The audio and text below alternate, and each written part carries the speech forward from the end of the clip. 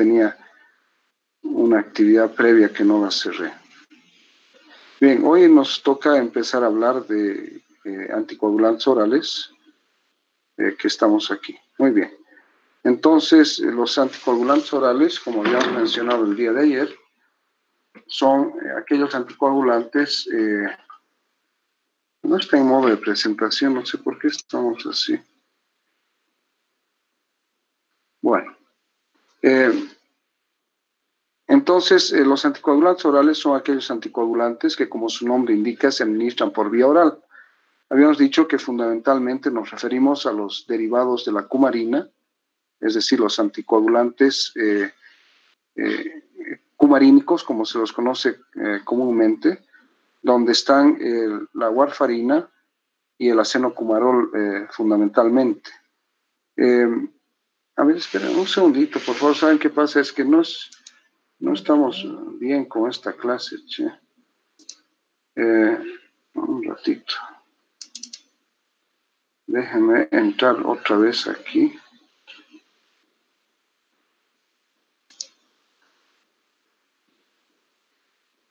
No. Bueno. que no es esta clase. Bueno, de todos modos, entonces... Eh, están la warfarina y el acenocumarol, fundamentalmente. Eh, el mecanismo de acción es de que ellos inhiben a los, eh, fundamentalmente a los factores vitamina K dependientes, como habíamos dicho el día de ayer. Es decir, de que impiden la, el ciclo de, interconversión de, interconversión de la vitamina K de su forma oxidada a su forma reducida. la vitamina K va a ser reducida para su síntesis, para la síntesis de los factores de coagulación que se realiza a nivel del hígado. Entonces, estos factores de coagulación que son eh, eh, vitamina K dependientes son básicamente el factor 2, 7, el 9 y el 10. Por lo tanto, decimos que los anticoagulantes orales cumarínicos van a tener eh, actividad tanto sobre la vía extrínseca eh, a través del factor 9 en vía intrínseca y luego eh, a través del factor 10 eh, y del factor 2 va a tener efectos sobre la vía de la coagulación común. ¿No? Entonces, no sé si se acuerdan que ayer habíamos visto un esquemita en la cual se veía exactamente eh, las tres vías de la coagulación en la cascada de coagulación, la extrínseca, la intrínseca y la vía de la coagulación común. Bien, entonces eh, los anticoagulantes orales cumarínicos actúan en forma indirecta a través de la inhibición de la síntesis de los factores de, la coagulación vitamina K dependientes, ¿ya? repitiendo los factores 2, 7, 9 y 10. También recordar de que existen eh, mecanismos eh, hemostáticos en el organismo que buscan impedir la coagulación en casos eh, en los cuales ésta se puede desencadenar, de manera que se mantenga la fluidez de la sangre, porque no se olviden que la sangre tiene que estar dentro del compartimento vascular y que tiene que ser fluida para poder cumplir todas sus funciones. Sin embargo, Habíamos dicho también ayer de que existe un equilibrio entre eh, dos elementos fundamentales que son la hemostasia. Uno, por un lado, la, coagulación, que fundamentalmente busca evitar la pérdida de sangre, y por otro lado, la fibrinólisis, que busca fundamentalmente evitar el cambio, el cambio de consistencia, es decir, eh, la formación de coágulos y de trombos que impidan la circulación normal de la sangre. Dentro de las proteínas eh, eh, que, se denominan proteínas anticoagulantes están fundamentalmente la proteína C, la proteína S y también la proteína AT3, que es la tercera proteína importante. Bien, ¿cuál es el mecanismo de acción entonces fundamentalmente de los anticoagulantes orales? Es el de impedir la formación de los factores de la coagulación 2, 7, 9 y 10 dependientes de la vitamina K. Por lo tanto, ellos van a inducir a una síntesis defectuosa de todas las proteínas vitamina K dependientes. Eh, pero a la, vez, a la vez ellos tienen un efecto fundamental que es eh, a través de su efecto a nivel de la eh, protrombina funcional, es decir, el paso de transformación de la protrombina en trombina o factor 2 en factor 2A activado. Entonces, el efecto anticoagulante de la, de la de la warfarina y de los cumarínicos en general eh, no ocurre al mismo tiempo.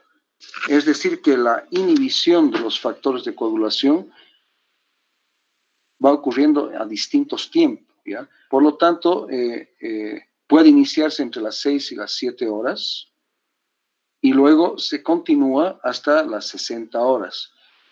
Entonces, estamos hablando de que eh, el efecto anticoagulante de los anticoagulantes cumarínicos se alcanza aproximadamente entre eh, el segundo y el tercer día, el efecto total.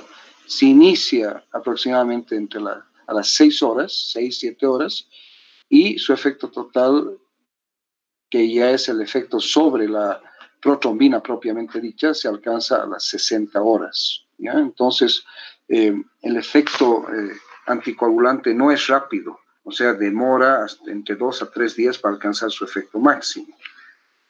Esa es una característica entonces de estos anticoagulantes vitamina K dependientes.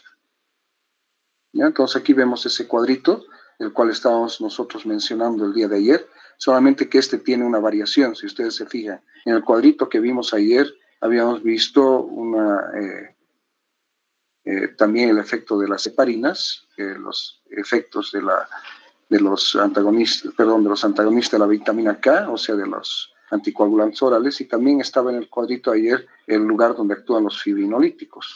En este cuadrito se ha eliminado los dos anteriores y solo se ha mantenido a los antagonistas de la vitamina K, es decir, lo único que se ha mantenido es a los anticoagulantes cumarínicos. Y entonces nosotros vemos aquí en este triángulo con el signo negativo, ¿ya? Eh, vemos de que los anticoagulantes orales como los cumarínicos impiden la, conversión del factor 7 en factor 7 eh, activado en la vía extrínseca. No se olviden que la, eh, la vía extrínseca se inicia, como su nombre indica, con la lesión en, el, en un trauma o alguna cosa que lleve a la lesión del vaso sanguíneo, lo que deja que las células endoteliales del vaso queden expuestas a la sangre y que el factor 7 se active, ¿no es cierto?, para promover a través de la vía extrínseca la coagulación sanguínea.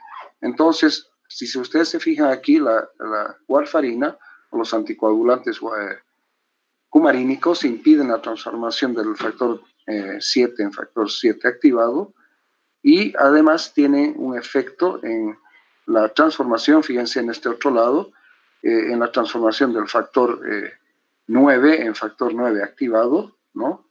Y en la transformación del factor 10 inactivo en factor 10 activado. Esto viene a través de la vía, eh, de la vía intrínseca y se une en el punto que el punto de encuentro, el lugar de encuentro, el punto de encuentro de las dos vías, la vía intrínseca por un lado y la vía extrínseca por otro lado, que es el factor 10 y que en ambas vías va a ir a producir el factor 10 activado. Entonces, fíjense de que los anticoagulantes cumarínicos actúan tanto en la vía extrínseca, por este lado, en el factor 7 y el factor 7A, y en la vía intrínseca a partir del, del factor 9, ¿no es cierto?, que estamos viendo acá, y ya en la vía común donde estamos viendo el efecto eh, anticoagulante que ejerce eh, en el factor 10, por un lado en la vía intrínseca, y en el factor 10 por el otro lado por la vía extrínseca, lo que condiciona, ¿no es cierto?, su efecto fundamental y más importante, y por eso está en círculo aquí, eh, su efecto fundamental sobre la protrombina, ¿no es cierto? Y impidiendo la activación de la protrombina para convertirse en trombina, o sea, en el factor 2A activado. ¿De acuerdo? Ya por este otro lado en el cuadrito, solamente para recordar, ¿no? Que vemos aquí a la antitrombina, que es el lugar donde se une con las heparinas y donde va a ir a ejercer su acción en forma indirecta, multiplicando el efecto eh, de la antitrombina en mil veces. ¿De acuerdo? Entonces, este cuadro yo creo que es bastante representativo de dónde actúa eh, la warfarina y en, general dónde actúan los eh, anticoagulantes cumarínicos. Entonces, si hay alguna pregunta, si ha quedado todo esto claro, es fundamental. ¿ya? Vemos entonces, repitiendo nuevamente, que los cumarínicos actúan sobre el factor 7 de la vía extrínseca, impidiendo su transformación en 7 activado, y a la vez esto impide que el factor 10 de la vía extrínseca se active y vaya a transformarse en, factor 10 activado. Y por otro lado, en la vía intrínseca, el factor 9, que impide su transformación en factor 9 activado, y por otro lado, ya en la vía común, ya la transformación tanto en la vía intrínseca como extrínseca del factor 10 en factor 10 activado y su efecto mayor, su efecto sobre la, la, protrombina, que es el factor 2, impidiendo que ésta se transforme en trombina. Bien, farmacocinética, su nombre ya lo indica, se administran por vía oral, eh, se absorben rápidamente eh, y, completamente desde el tubo digestivo, eh, tienen un efecto en la mujer embarazada porque tienen la capacidad de atravesar la barrera placentaria, lo que hace de que estos eh, en general no deban ser utilizados en, en, general en este tipo de pacientes. Eh, la warfarina tiene una vida eh, media de larga, fíjense, de hasta 36 horas, y el acenocumarol tiene una vida media más corta, que solamente es de 9 horas. Es por eso que cuando nosotros utilizamos un anticoagulante oral como la warfarina, tenemos que tener el cuidado de que si el paciente o la paciente van a ser sometidos a un procedimiento quirúrgico, este, esta warfarina debe suspenderse unos tres días antes. Y si es necesario mantener a la paciente o al paciente con eh, anticoagulados, pasaríamos a utilizar una heparina de bajo peso molecular posteriormente, ¿no? Posteriormente. Bien, eh, se unen a las eh, proteínas plasmáticas, fundamentalmente la albúmina, prácticamente en el 100%, y son liberados hacia los hepatocitos, donde van a ir a alterar las proteínas y por lo tanto van a ir a tener su efecto sobre los factores de coagulación, vitamina K dependientes. Su eliminación después del proceso metabólico sufrido se hace por vía renal.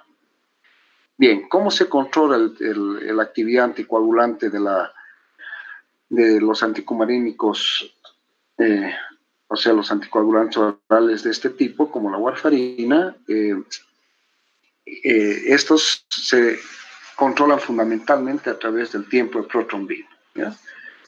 Eso es elemental, pero también deben controlarse, y aquí no está mencionado en este slide, a través del INR, que hemos dicho que es un índice eh, es, eh, internacional, ¿no? Eh, es en realidad una norma internacional racionalizada, o es el ratio de los tiempos de protrombina, del tiempo de protrombina del paciente, comparados con los tiempos de protrombina normatizados a nivel internacional. Entonces, nosotros decimos de que un paciente eh, cuando está siendo anticoagulado por, eh, que está siendo anticoagulado por, eh, con anticoagulantes cumarínicos como la warfarina, deben tener un INR que esté entre 2 y 3. Eso indica de que el paciente está bien anticoagulado.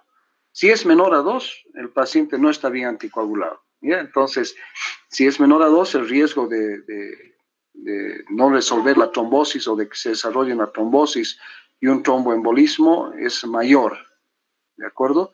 Pero eh, si, el, si el INR es mayor a 3, entonces el riesgo de, de hemorragia aumenta. Por eso que digamos el margen terapéutico seguro de anticoagulación que se consigue con los anticoagulantes cumarínicos administrados por vía oral es eh, entre 2 y 3. ¿ya? Entonces, el INR y el tiempo de protrombina son los que se utilizan para el control de, y monitorización del efecto anticoagulante de los anticoagulantes orales warfarínicos. Bien, ¿cuáles son las reacciones adversas? Eh, no nos olvidemos, y eso había mencionado el día de ayer, de que muchas veces para conseguir un efecto eh, antitrombótico para evitar las enfermedades eh, trombóticas o tromboembólicas a largo plazo, la anticoagulación debe ser a largo plazo.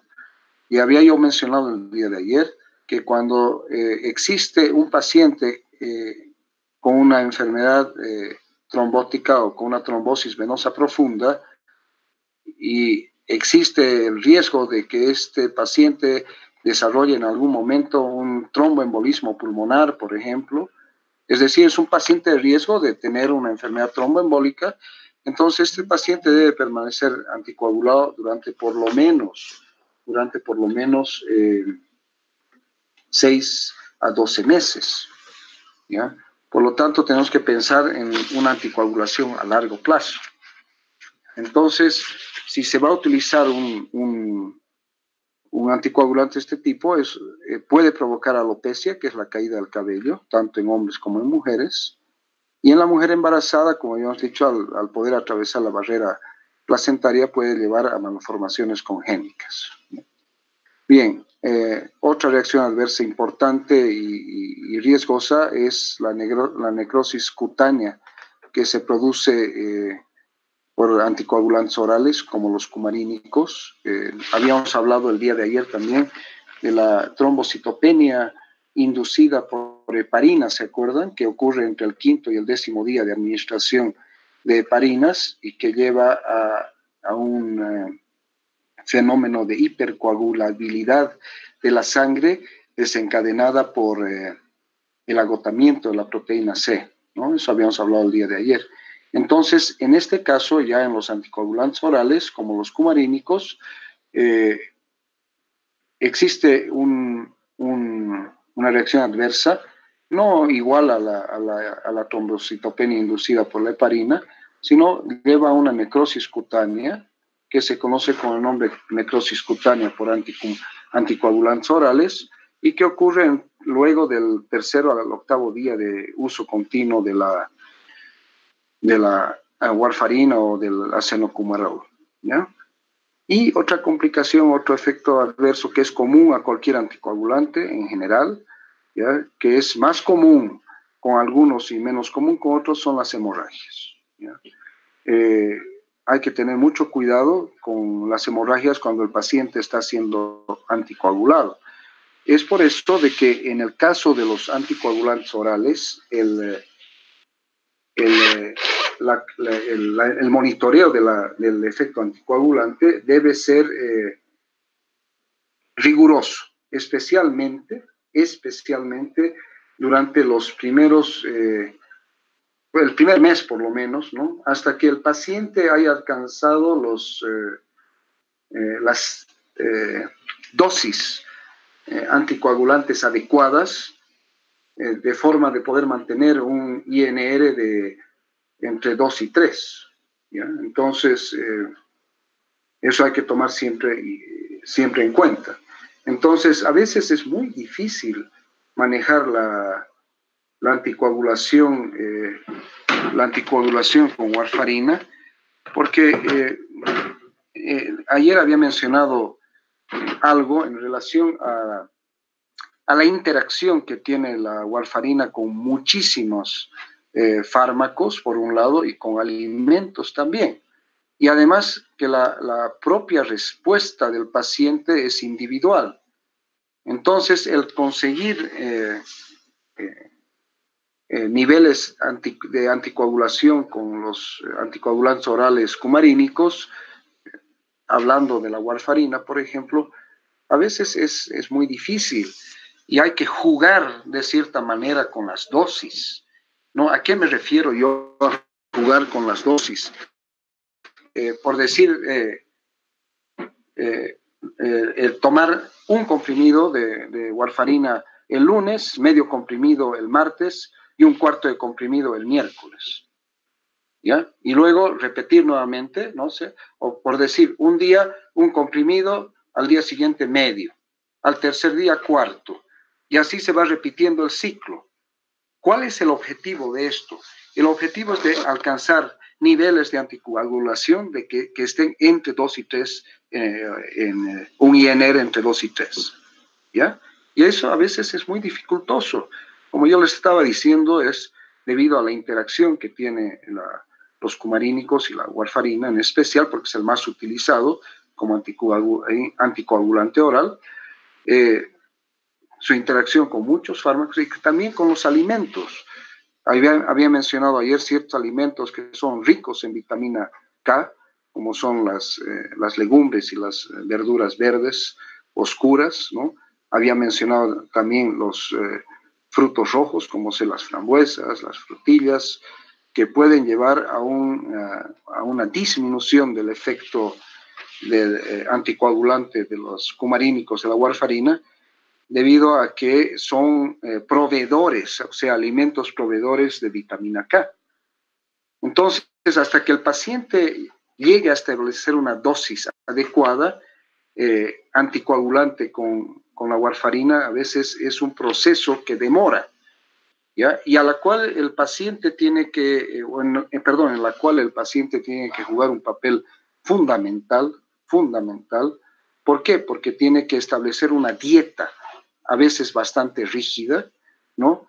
O tener un listado de qué alimentos puede comer y qué alimentos no puede comer, porque la, eh, la ingestión de ciertos alimentos puede disminuir entonces el, efecto anticoagulante y hacer que el INR, en vez de que esté entre 2 y 3, esté en 1,5 o en 1,2 o en 1,3. Como les digo, a veces es muy difícil el, el manejo del, del, la anticoagulación con los anticoagulantes orales, ¿ya?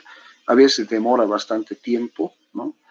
Y requiere de, controles laboratoriales frecuentes, eh, eh, a veces al inicio del tratamiento cada dos o tres días, luego eh, una vez por semana, luego ya una vez que ya se ha alcanzado niveles adecuados, una vez al mes, ¿no es cierto?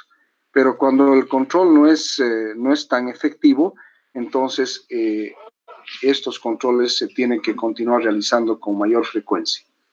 ¿Ya? Bien. Em, usos clínicos. ¿Para qué se utilizan los anticoagulantes orales? Se utilizan fundamentalmente en la prevención secundaria, o sea, como profilácticos, eh, o también en el tratamiento de la trombosis venosa profunda y la embolia pulmonar. Uno de los mayores riesgos de las trombosis venosas profundas es de que hagan embolias pulmonares. Y a veces estas embolias pulmonares son masivas y ponen en riesgo la vida del paciente o dejan secuelas importantes. Eh, por lo tanto, eh, nunca se debe tomar en, eh, en forma poco seria un trombo, una trombosis venosa profunda. aquí también debemos hacer hincapié en que las trombosis venosas profundas son más frecuentes ¿ya? En, en los miembros inferiores, especialmente en las venas de la, pierna, es decir, las venas de la pantorrilla.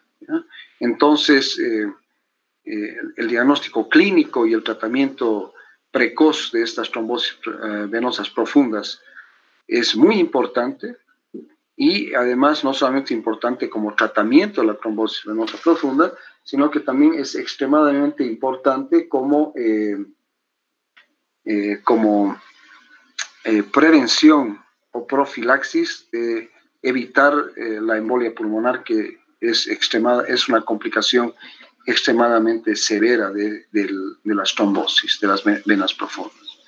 Y también en pacientes con arritmias cardíacas, ¿no? Eh, por fibrilación auricular o flúter auricular, o pacientes que han sido sometidos a recambios valvulares cardíacos, ¿no?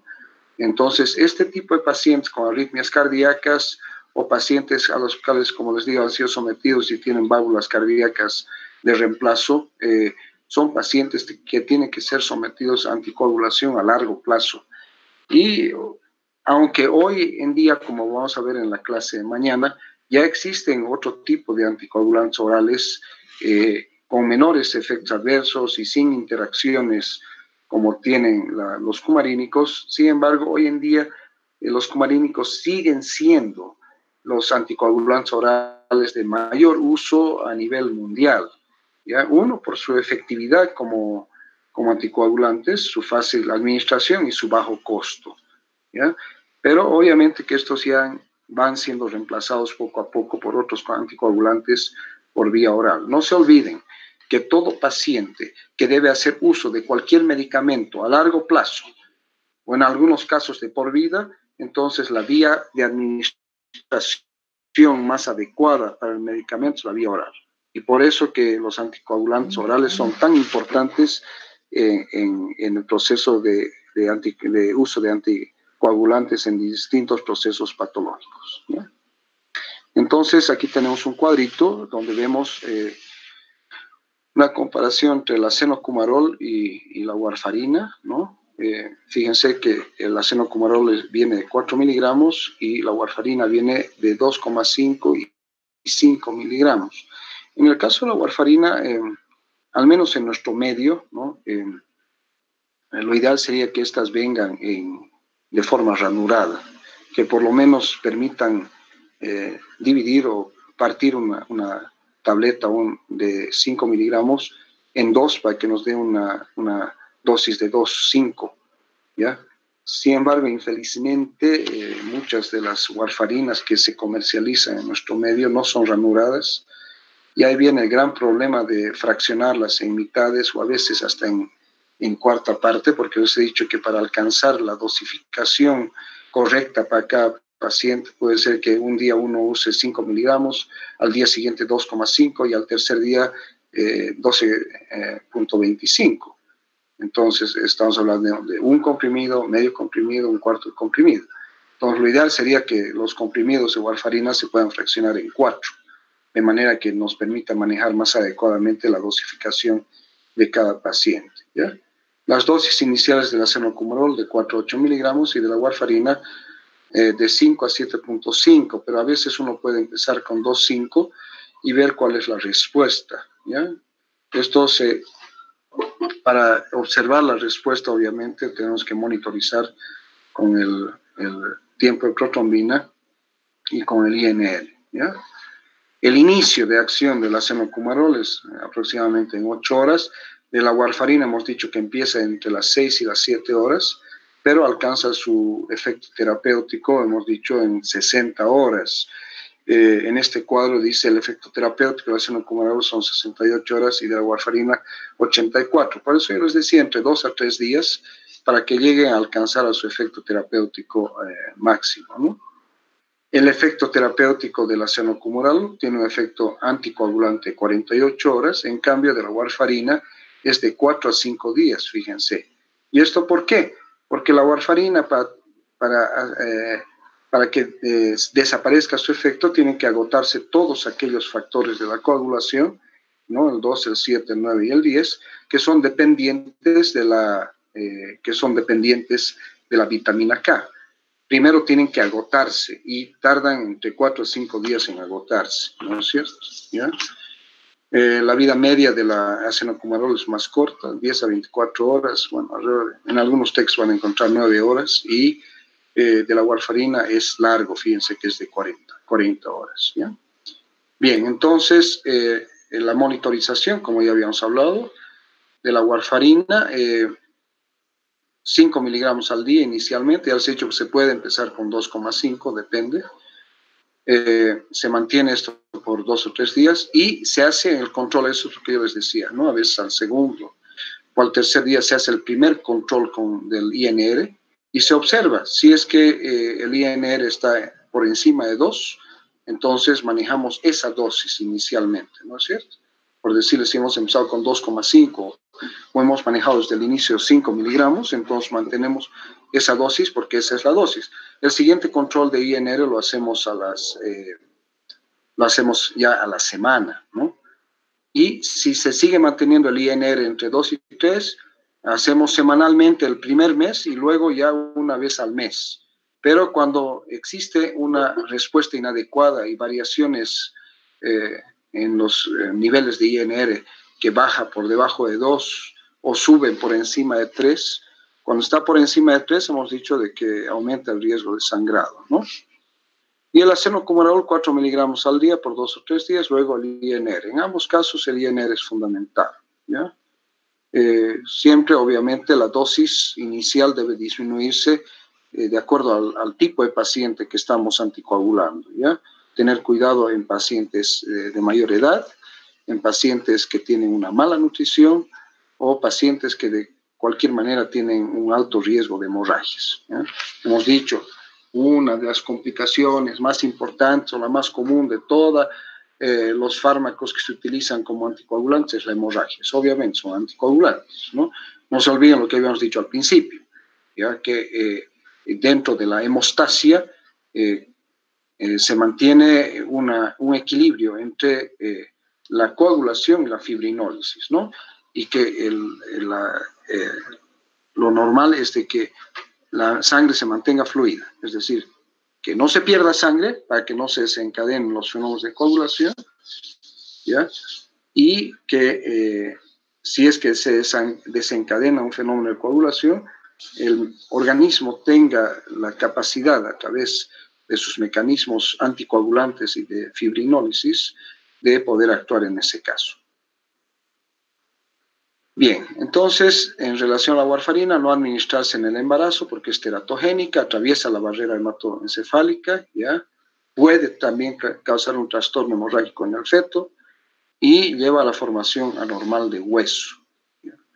Hemos dicho que hay que tener mucho cuidado con la warfarina, que entre eh, más o menos alrededor del quinto o octavo día se puede producir necrosis cutánea por menor actividad de la proteína C.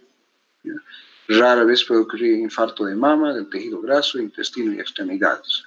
Entonces, al igual que la, trombocitopenia inducida por la heparina, donde la proteína C juega un factor importantísimo, en la trombocitopenia inducida por la heparina se agota la proteína C y en el caso de la, de la warfarina disminuye la actividad de la proteína C y puede llevar a esta necrosis cutánea. ¿ya? Interacciones, fíjense, potencian la anticoagulación eh, de los anticoagulantes orales, eh, el alcohol, antiarrítmicos como la amiodarona, los esteroides, los anabólicos, los eh, inhibidores de la secreción ácida pertenecientes a los antagonistas histamínicos, como la simetidina, la, del grupo de la simetidina, la famotidina, la, la ranitidina, los eh, eh, fármacos utilizados en las dislipidemias, los fibratos, antibióticos como el cotrimoxazol, la eritromicina, el fluconazol, la isoniazida utilizada en la tuberculosis, el metronidazol, el miconazol, el omeprazol, inhibidor de la bomba de protones, antiinflamatorios no esteroideos como la fenilbutazona, el piroxicam, eh, Aquí hay que tomar en cuenta de que todos los antiinflamatorios no esteroideos, todos, para ser antiinflamatorios no esteroideos, tienen que tener cuatro características. Analgésico, antipirético, eh, antiinflamatorio y antiagregante plaquetario.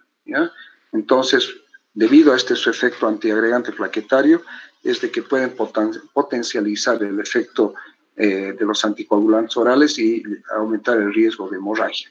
Cualquier antiinflamatorio no esteroideo. Algunos bloqueantes beta, como el propanolol. Y otros fármacos, como el paracetamol, antibióticos como el ciprofloxacina, eh, analgésicos como el, el dextropropoxifeno, el disulfiram que se usa en el tratamiento de los pacientes alcohólicos, eh, en fin, algunos, eh, algunos anticonvulsionantes, ¿no? como la fenitoína, otros antibióticos. Fíjense de que interactúa con muchísimos. Ahí está la aspirina, eh, antineoplásicos como eh, el, uh, fluoracilo, el ifosamida, etcétera, antiinflamatorios, ketoprofeno. En fin, hay una larga lista ¿no?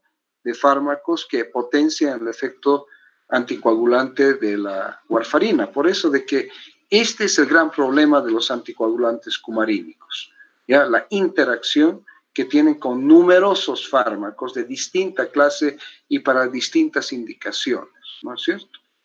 Ahora, ¿cuáles inhiben la anticoagulación? Los barbitúricos, la carbamazepina, el clordiazepóxido, la colestiramina, eh, la grisofulvina, que es un antimicótico, ¿no es cierto? Eh, la nafcilina, el sucralfato, estos son los, eh, generalmente aquellos que, los, los antiácidos, ¿no es cierto? Alimentos, como habíamos dicho, con alto contenido de vitamina K, la nutrición enteral, pero por ejemplo alimentos verdes, frutos rojos, antibióticos como la dicloxacilina y eh, varios eh, eh, otros fármacos en los cuales hay que tener cuidado. Bien, entonces aquí hay otro cuadro, fíjense, ya de cuáles son los que los que potencian, inhiben, que más o menos es básicamente lo mismo. Aquí están otros antibióticos. Fíjense qué gran cantidad de antibióticos. Y eso es algo que hay que tomar mucho en cuenta, ¿no?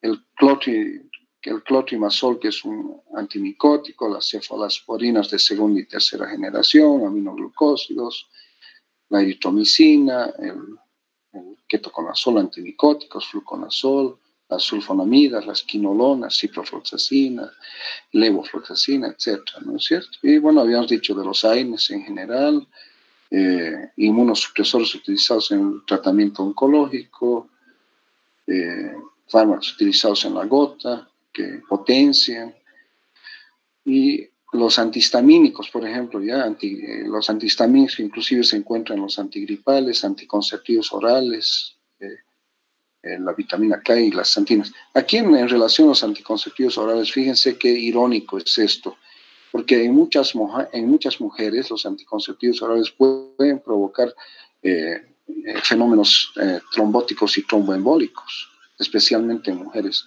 jóvenes, ¿no es cierto? Entonces, un efecto adverso del uso de anticonceptivos orales es trombosis y tromboembolismo, ¿ya? Y fíjense de cómo estos anticonceptivos eh, orales eh, inhiben la actividad también eh, anticoagulante de los cumarínicos. Contraindicaciones, contraindicaciones absolutas, hemorragia activa, lesiones viscerales e intracraneales, hemorragias intracraneales obviamente, o lesiones de vísceras huecas intraabdominales eh, especialmente de origen de tipo traumático, ¿no? aquellas que llevan a, sangrado intraabdominal eh, y abdómenes agudos, alergia a los anticoagulantes, porque sí, puede haber hipersensibilidad a los anticoagulantes, úlcera péptica activa, ¿por qué? Porque si uno es un anticoagulante va a provocar hemorragia digestiva, ¿no? Y aunque ustedes de repente no sepan, una hemorragia digestiva masiva puede llevar a la muerte al paciente. Eh, cirugía del sistema nervioso central en la última semana y la hipertensión grave no controlada. ¿Por qué? Porque el aumento de la presión arterial asociada a la anticoagulación puede eh, aumentar el riesgo de hemorragias en el sistema nervioso central, a nivel ocular, etc. Relativas hepatopatías con trastornos de la coagulación. ¿Ya? Sí, sí, hay ciertas enfermedades hepáticas que pueden alterar la coagulación en la edad avanzada, que hemos dicho, ¿no es cierto? Eh, habíamos incluido edad avanzada y desnutrición o paciente eh, anciano con mala nutrición o también paciente mala nutrición, la hipertensión arterial, eh, no la hipertensión arterial grave o no controlada, la que es absoluta, diabetes mellitus con repercusión orgánica. Entonces, esas son relativas. ¿Con qué se refiere, revierte el efecto de la warfarina? Interrumpiendo el fármaco, ¿ya? inmediatamente. No se olviden que su efecto va a dejar de, tener efecto hasta en cinco días, ¿no? Entonces hay que interrumpirlo el fármaco. Eh, la administración inmediata de vitamina K, oral o parenteral, que obviamente su efecto no es, se inicia a las seis horas y va a ir hasta más allá de las 60 horas, ¿no es cierto? Plasma fresco congelado. Esto sí, porque el plasma fresco congelado nos va a proporcionar factores eh, de coagulación inmediatos, concentrados de complejo de protrombina, porque no se, no se olviden que habíamos dicho que el efecto principal de, los cumarínicos eh, anticoagulantes orales es sobre la protrombina. Más especialidad, factor recombinante 7A, ¿no es cierto? Porque hemos dicho que se inicia en la vía extrínseca y concentrado de cuatro factores, el factor 2, el 7, el 9 y el 10, que son los factores que son afectados. Sin embargo, estos, eh, eh, estos últimos concentrados de complejo de factor recombinante 7A y concentrado de los factores 2, 7, 9 y 10, eh, se tiene que hacer en, lugares donde tenemos, ¿no? Y sinceramente, en, un país como el nuestro y en un medio como el nuestro, los tres primeros son más importantes, interrupción del fármaco, administración de vitamina K, oral o parenteral y plasma fresco congelado. ¿no? Esos son tres elementos que nos ayudan a revertir el efecto de la warfarina, especialmente en los, cual, en los casos en los cuales puede haber hemorragias importantes. Bien, eh, eh, este es un cuadrito esquemático de cómo se debe manejar un paciente con un INR elevado. Entonces, eh, si el INR es menor a 5, sin sangrado, ya que amenace la vida, se recomienda suspender el anticoagulante oral, controlar el INR en dos a tres días y debe ajustarse la terapia al reiniciar el fármaco. ¿ya? Por eso les digo, lo ideal es un INR entre 2 y 3, ¿ya? pero aquí estamos hablando de un INR menor a 5 sin sangrado. Ahora, si el INR está entre 5 y 9, pero no hay sangrado, ¿ya? que amenace la vida, se suspende el anticoagulante oral se administra de 1 a 2,5 miligramos de vitamina K por vía oral por una vez, controlando el INR al día siguiente. No se olviden que esto va a demorar un poquito, ¿no es cierto? Se puede repetir la dosis de vitamina K si el INR es mayor a 5. Entonces, eh, eh, si es que es mayor a 5, repetirlo. Con un INR de 9 entre 9 y 20, fíjense, niveles altísimos, sin sangrado que amenace la vida, suspender el anticoagulante, lo que habíamos visto antes, administrar de 3 a 5 miligramos de vitamina K por vía oral, en el, en el anterior caso entre 5 y 9 era de 1 a 2,5 miligramos de vitamina K, aquí aumentamos de 3 a 5 una vez, el INR nuevamente se controla al día siguiente y se puede repetir la dosis de, vitamina K si el INR es mayor a 5. Al día siguiente, ¿no? Porque ya esperamos de que el INR eh, comience a bajar, ¿no es cierto? Ahora, si el INR es mayor a 20, o en caso de sangrado que amenace la vida, en cualquiera de los otros niveles que hemos visto aquí, ¿no es cierto? Eh, se recomienda suspender el anticoagulante, administrar en este caso 10 miligramos de vitamina K, pero ya por infusión endovenosa en 30 minutos, porque puede dar lugar a fenómenos de hipersensibilidad o anafilaxia. Aquí se administra plasma fresco, congelado, en dosis de 5 a 8 mililitros por kilogramo. Se controla a las 12 horas, si el sangrado persiste o si el INR se mantiene por sobre 20, las medidas de todas estas medidas se repiten nuevamente. ¿Ya? Entonces aquí ya pero en cualquier momento en que haya sangrado que amenace la vida del paciente, se puede, se debe suspender el, anticoagulante oral, se debe administrar vitamina K y se debe administrar eh, plasma fresco congelado. Bien, eh, en relación a los eh, cuidados de enfermería, en relación a los anticoagulantes orales, esto es fundamental. El mejor modo de evitar complicaciones del tratamiento anticoagulantes, educar al paciente en relación a, eh, eh, a seguir eh, ciertos parámetros de control estrictos, fundamentalmente en lo que se refiere a la, a la dosis, o sea, el, el, manejar la dosis adecuada y, el, y al control de los alimentos que pueden interferir o de medicamentos que pueden interferir en relación al efecto anticoagulante, eh, aumentándolo o disminuyéndolo. ¿ya? Por eso de que el control laboratorial o el, monitoreo laboratorial con, mediante el, tiempo de protrombina y, la, y el INR son fundamentales. Y tomar que el paciente esté consciente de las frecuentes eh, interacciones que pueden ocurrir con estos. Bien. Entonces, con eso terminaríamos los cumulínicos y pasaríamos a ver a los inhibidores directos de la trombina, ¿ya? que estos son el, el, eh, de la tromina el factor 2A. Entonces, los inhibidores directos de la tromina eh, se basan en, en, proteínas, por increíble que parezca, fabricadas a partir del irudo medicinalis, que en realidad es la sanguijuela, que aquí pueden verla en el cuadrito. ¿ya? No sé si ustedes han visto en fotos o alguna vez han visto de verdad sanguijuelas, ¿no? Eh, son muy utilizadas en la China las, las sanguijuelas, eh, justamente en, diversos procesos, eh, y se los usa desde tiempos inmemoriales, ¿no? El famoso, la idea de que el sangrado es, es bueno para el cuerpo humano en ciertas patologías. En el caso en, el reimplante de órganos, especialmente en el reimplante de dedos de la mano, ¿ya? Eh, se utiliza la sanguijuela porque no se olviden que, las, eh, que cuando uno reimplanta un segmento corporal de los miembros, eh, lo fundamental es uno que llegue sangre y otro que la sangre retorne.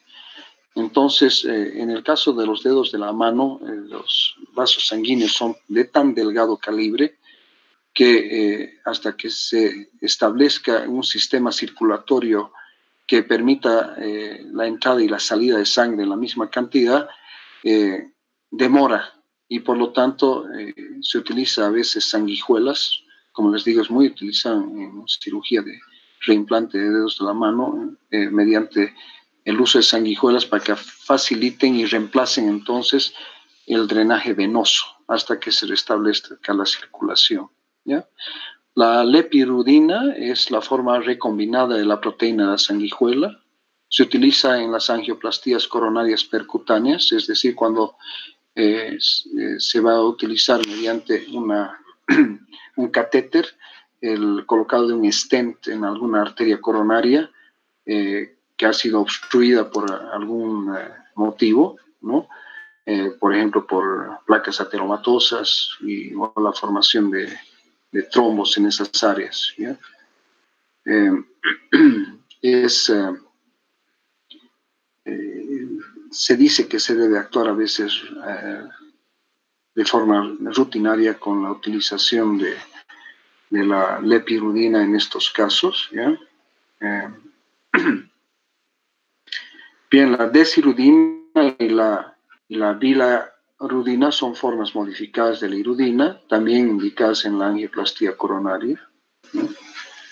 Eh, se olviden que la angioplastía coronaria es un procedimiento de rutina, aún en nuestro país, ¿no? Eh, y es un procedimiento de rutina que en, ciertos casos de, de problemas de aterosclerosis coronaria y en angina de pecho inestable, eh, que van a desembocar en, un infarto agudo de miocardio, muchas veces es, eh, es una vía eh, de, de, cierta manera, de revascularización del miocardio mediante la colocación de stents que hagan de que el vaso sanguíneo se restablezca y por lo tanto la circulación coronaria también se restablezca.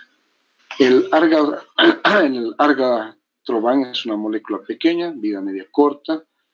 Em, también está utilizada en cierto tipo de trombosis. ¿no? aquí también había olvidado de la lepirudina también.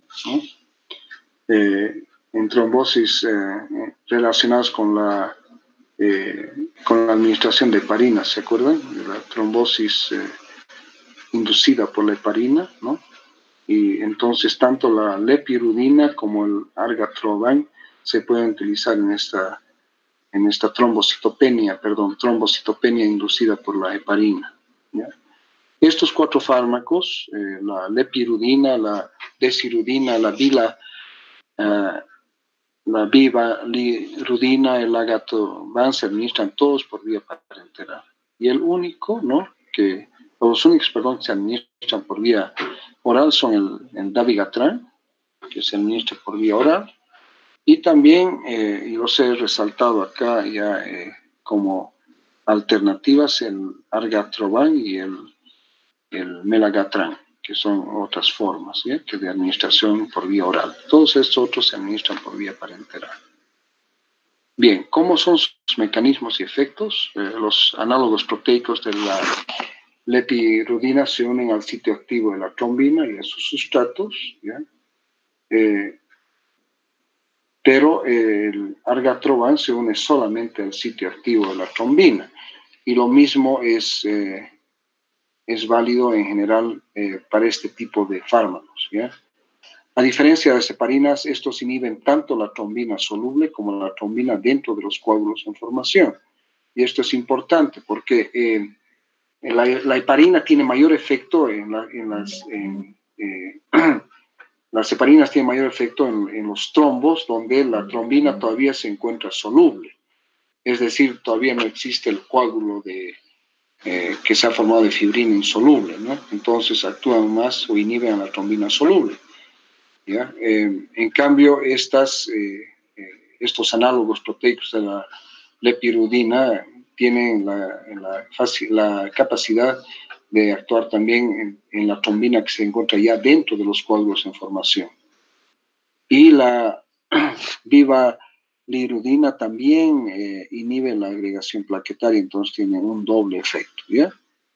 Entonces, eh, se utilizan eh, como alternativa a la heparina en pacientes que han desarrollado una, una trombocitopenia inducida por heparina.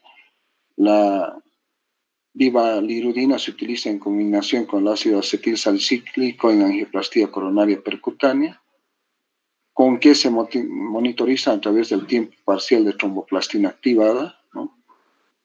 Tiene una farmacocinética predecible que permite una dosificación fija con una respuesta anticoagulante inmediata y también predecible. Eso hace de que estos fármacos sean bastante seguros cuando se utilizan y cuando están indicados. Como hemos visto en, varios lugares en el anterior slide y todo eso, su principal uso es en las angioplastías coronarias, percutáneas y las trombocitopenias inducidas por la heparina. ¿ya? Em, no es necesario entonces un control rutinario laboratorial eh, y el interlazado con otros anticoagulantes eh, eh, no es necesario tampoco. O sea, hemos dicho, por ejemplo, que habíamos hablado del interlazado de la, de la heparina con la warfarina, ¿no? Digamos, si tú estás administrando una heparina de bajo peso molecular, em, ¿en qué momento vas a descontinuarla y vas a pasar un anticoagulante oral como la warfarina? Eh, puede ser en cualquier momento, pero tienes que interlazarlas en, en un periodo que más o menos de alrededor de tres días, hasta que la warfarina alcance sus su efecto anticoagulante y de ahí recién suspendes la, la heparina. ¿no? No interactúan con el citocromo P450. ¿ya? Y el dabigatran se utiliza en la prevención del, del embolismo sistémico en fibrilación auricular no, eh, no valvular también. ¿Listo? Bien, eh, el dabigatran eh, por vía oral se llama dabigatran texilato mesilato, ya eh, tiene, ya hemos dicho, una farmacocinética y una biodisponibilidad predecible, tienen una dosificación fija, eh, no necesitan en realidad eh, control por laboratorio. Indicaciones, prevenir la apoplejía, la apoplejía y embolias generalizadas en fibrilación auricular no valvular. Dosis, 50 eh, miligramos cada 12 horas, no es necesaria vigilancia de laboratorio y puede provocar hemorragia en mayores de 75 años. Interactúa con el ketoconazol, que es un antimicótico, con la miodarona, la quinidina, el clopidogrel, que incrementa su efecto. Entonces aquí hay un ejemplo de esto. Bien, entonces con esto concluíamos la clase de hoy. Eh, espero que todo esté claro. Y mañana continuamos y, terminamos con la fase, con la clase de anticoagulantes. Em, yo creo que hasta ahí llegamos hoy, ya no tenemos más tiempo. Estamos exactamente con una hora de clase, que eso es lo que corresponde a los días miércoles. Bien, entonces, eh, si todo está claro, eh, nos vamos a desconectar. Eh, si hay alguna pregunta o observación, me la hacen saber. ¿Listo? Muy bien, entonces...